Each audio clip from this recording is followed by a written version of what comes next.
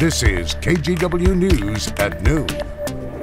Hello, I'm Christine Pitawanich. We begin at noon with the final January 6th committee hearing. Just about 30 minutes ago, the lawmakers unanimously approved criminal referrals against former President Donald Trump. The committee argues the evidence presented merits prosecution by the Justice Department.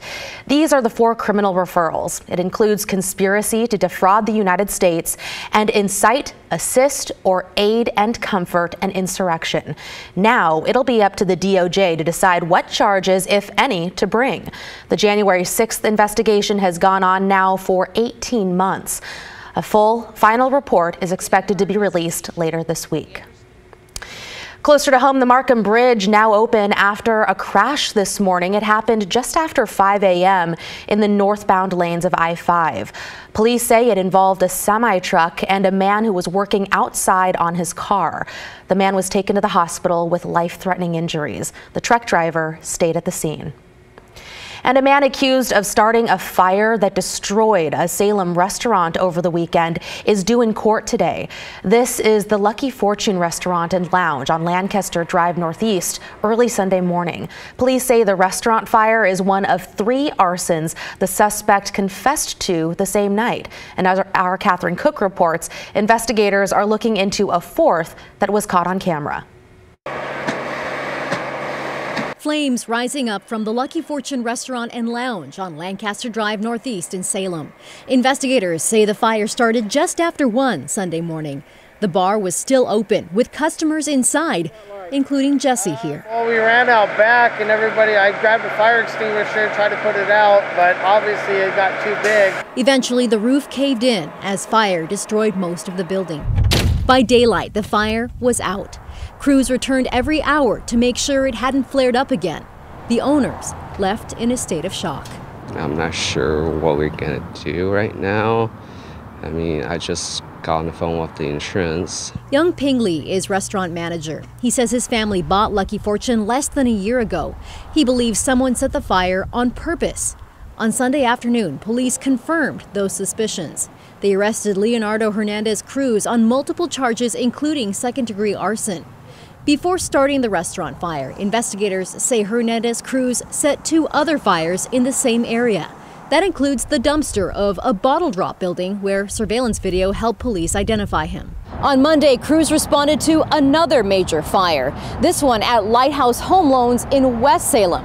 In this case, security cameras caught someone starting the fire. It happened around 5:30 in the morning. You can see the person grabbing cardboard from the dumpster then lighting it on fire. Within minutes, flames are climbing the side of the building on Wallace Road Northwest. Investigators say it's too soon to conclude if this fire and the restaurant fire are connected. Young Ping is just grateful no one was hurt. Hope everything turns good and glad that everyone's safe.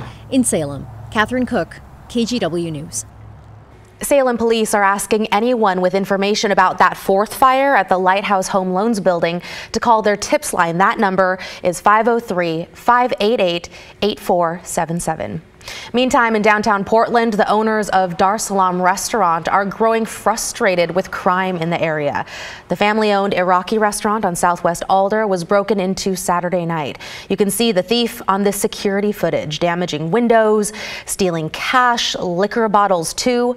The owner says this is the fourth time this has happened in the past year and a half. The restaurant has been in Portland for about a decade, and the owner wants the city to step up. But I really, I really encourage the city to help the smalls owners running business downtown. Because it's really it's not help with we don't need support with money. We need support with the cleaning. We need support safety. We need to bring downtown portland like before. The owner tells us vandalism has been another issue on top of break-ins that they've experienced and take a look at this mess. A semi truck leaked red dye all over miles of freeways throughout Portland. The dye is used for mulch, but instead it ended up on I 205 in Clackamas County and then on I 84 all the way out to Troutdale. The driver told police he was aware of the leak, but says his company told him to keep going to his final stop. He was cited for several things, including criminal mischief and reckless driving. The dye, though, is water soluble, so it should wash off off. But police say if the dye that splashed on your car, if you have some, does not come off, contact your insurance company.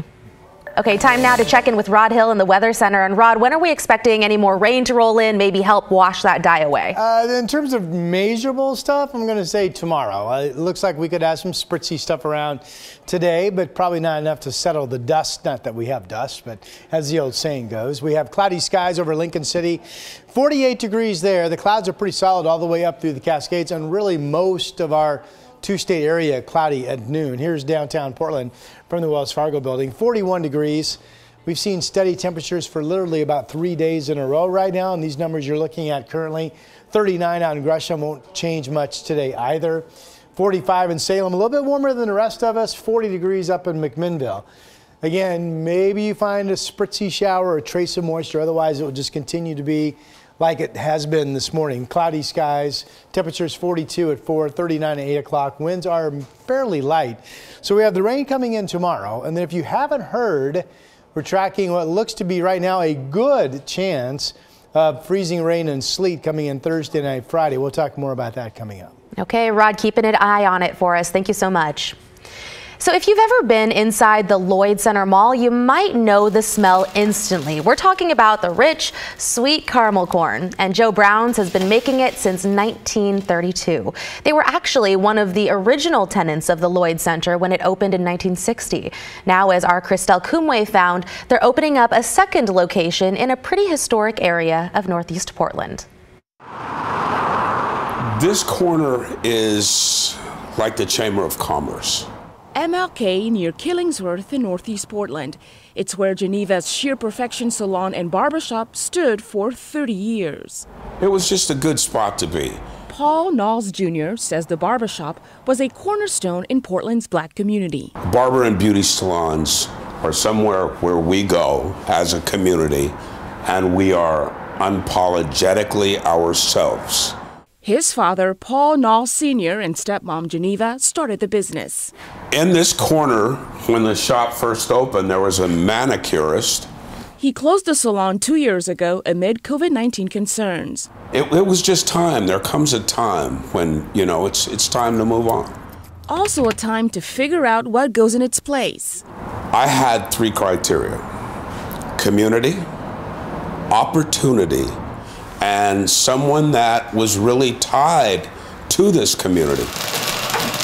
And there's no way you could come to the Lloyd Center without smelling that aroma of the caramel corn. That aroma will soon spread through the space. We are standing in the new Joe Brown's Caramel Corn MLK. David Ferguson owns Joe Brown's Caramel Corn at Lloyd Center, the last original store from the mall's grand opening in 1960.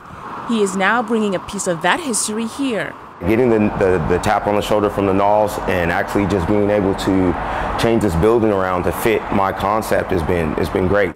A concept that includes a lounge and, of course, their signature sweet, crunchy treat.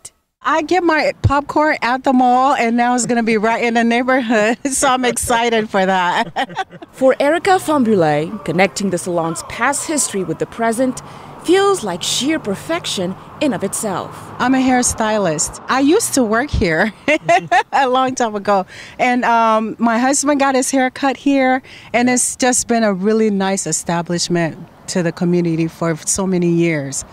From one community fixture to another, uh, we're going to create a window here where the, the popcorn will be. It's history honored in the King neighborhood, and the future here is popping.